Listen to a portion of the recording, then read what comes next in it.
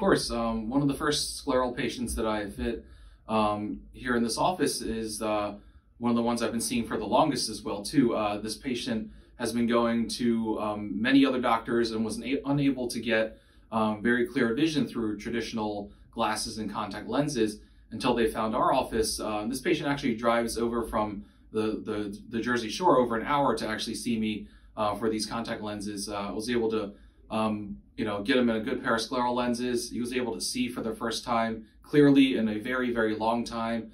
Um, and he was pretty much in tears, uh, basically, because I was able to get him to see so much clearer with those scleral lenses.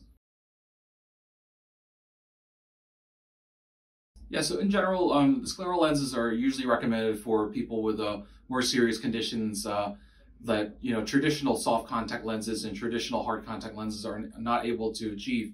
So um, they're generally designed for people who have like uh, conditions like keratoconus, corneal ectasia, corneal scars, things like that, um, even corneal transplants. Uh, those those are the people that generally um, benefit the most from scleral lenses. Sometimes even from um, more severe dry eye um, patients as well too, because sometimes uh, you know when uh, they're not able to achieve the I guess the comfort with uh, sometimes traditional dry eye treatment a scleral contact lens um, can potentially give them that just because with a scleral lens, their eyes are actually um, underwater the whole time, actually. So their eyes really shouldn't be too dry there. Um, but that's generally the type of person that would benefit from a scleral contact lens.